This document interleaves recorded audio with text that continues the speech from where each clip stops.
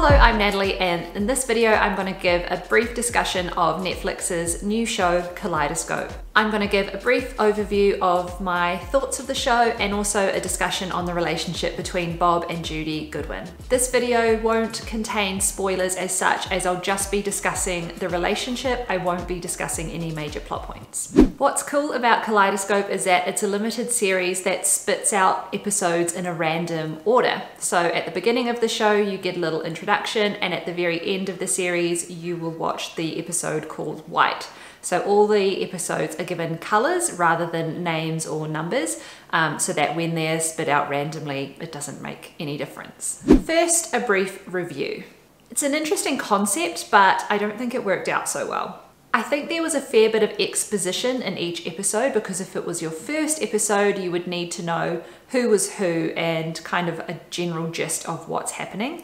So I think the time spent on that in each episode makes it drag on a little bit. I also felt that there was a lack of tension and conflict being built up across the series because you already maybe had seen the outcome of what had happened in a previous episode and you were just kind of piecing together the, you know, step by step what actually happened in that moment. But you already knew the outcome, so it kind of took away the satisfaction of seeing those moments unfold. This is especially obvious because you you see episodes that are set after the heist takes place, before you actually see the heist episode, which is the final episode. Lots of film and television shows set in this heist genre will have the final sequence be the reveal of the heist with a few time jumps or little tricks to keep the audience interested. But I felt like with Kaleidoscope, there were two 40 minute episodes of essentially denouement. So it kind of felt like there wasn't anything left to keep watching, if that makes sense. Secondly, and this is the real issue I had with the show, is the relationship between Bob and Judy Goodwin. Bob is an idiot. He's a puffed up, loud-mouthed, petty thief, safecracker, full of bravado who doesn't listen to anyone. Judy, on the other hand, is a chemistry genius. She's emotionally and socially intelligent. She's a genius, as I already mentioned. She can whip up whatever explosive or chemistry type item the team may need. She's tough, she's unafraid, and she's confident. She's got it all. It's mind-boggling that Bob and Judy are together and married, and for some reason Judy shows Bob fierce loyalty when his integrity is questioned or challenged.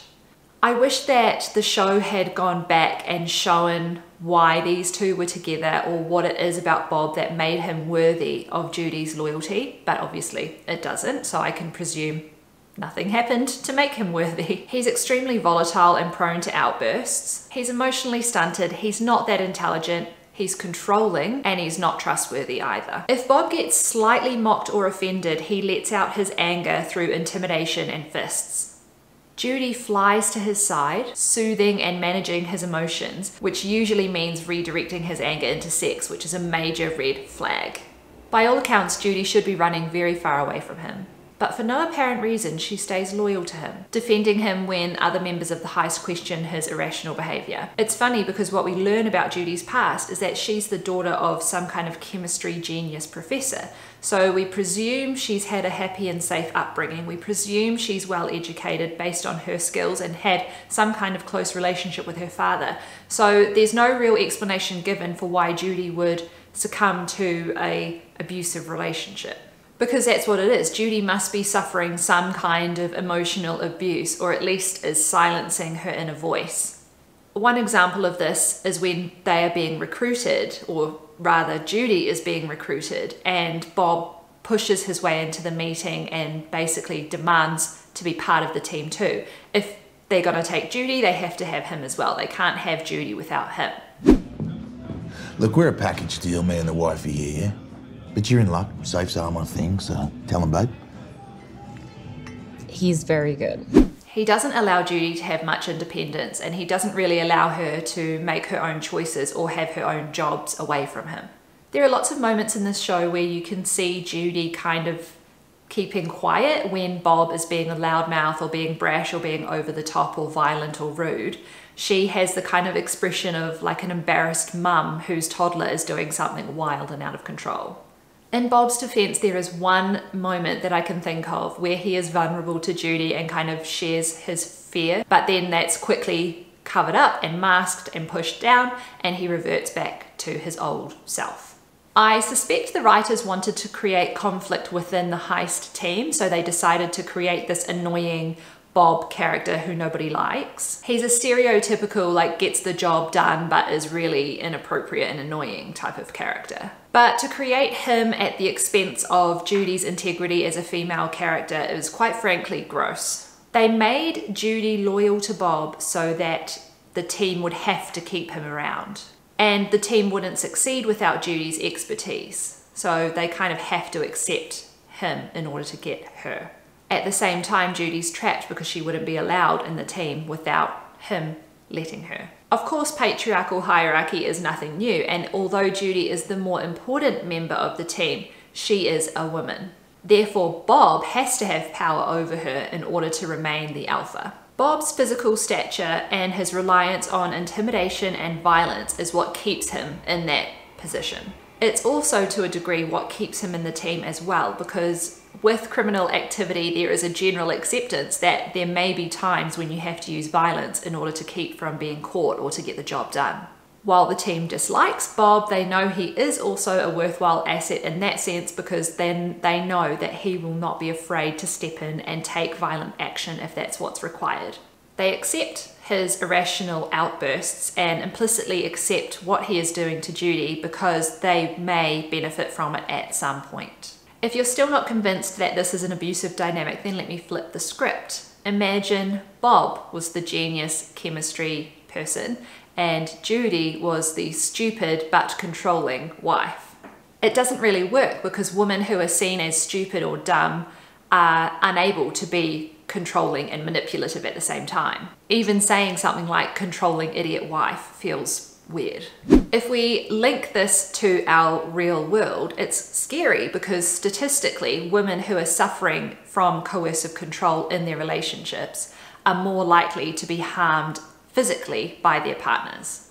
I'll share a link to this below, but there is a bulletin titled Experiences of Coercive Control Among Australian Women that says one in two women who had experienced coercive control also reported physical violence in the three months prior to the survey.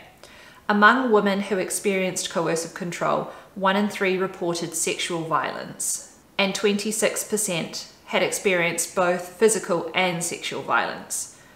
This means that most women who experienced coercive control in the three months prior to the survey also experienced physical and or sexual violence it's not a stretch of the imagination to say that looking at Judy and Bob's dynamic, you can see elements of coercive control happening and also how that could potentially lead to sexual or physical violence in her case.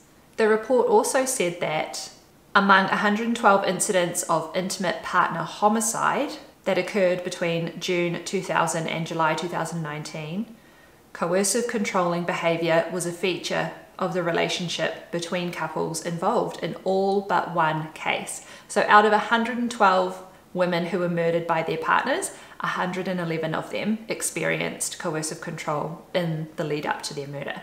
The reason I'm touching on these statistics is just to reinforce the idea that what we may see on TV, what we may see in the media, does have some influence on how people act in the real world if we watch Kaleidoscope and we see Bob behaving the way he does to Judy, we might think, oh, that's okay, that's just what it's like to be married. And that's obviously not how it should be. In Kaleidoscope, we don't see Bob physically or verbally abusing Judy directly, but my point is that showing this kind of behavior on TV is how it gets normalized and widely accepted. It kind of makes it seem like it's romantic He's a huge, angry, toxic man, but he's calmed by Judy. Their passionate love is something good because it helps him.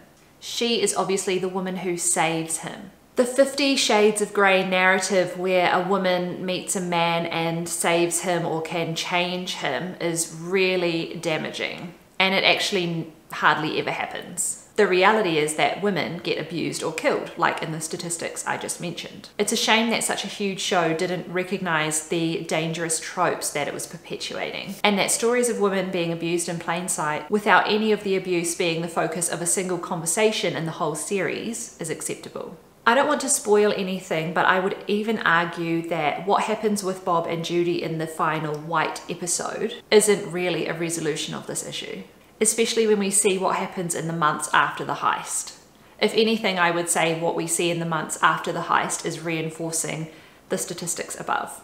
I'm not saying that you can't make things that include storylines of abuse, but I think you have to at least recognize it and call it out. At least acknowledge that what's happening to Judy is not right. At least tell people that this behavior is not okay and that it's not a good example of what a relationship should be. I really enjoyed Kaleidoscope, but I hate that this dynamic exists. And in my searching for any comment about it or any reviews that mention it, I didn't find a single one at the time of recording this video the fact that so many people review this show and don't mention the awful way Bob treats Judy is an indication to me that this is a broader epidemic of silencing or ignoring abusive relationships that are happening in the media. If you got something out of this video, please leave me a comment, a thumbs up, or you could subscribe to my channel for more content like this, and I will see you in the next one.